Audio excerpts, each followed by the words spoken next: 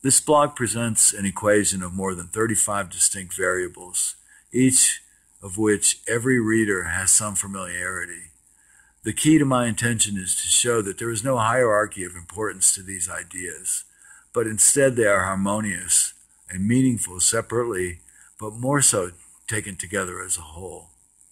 With the ability together to guide us to a clear understanding of who, what, where, and when, and why the agents of deceptions in society are getting away with their special crimes.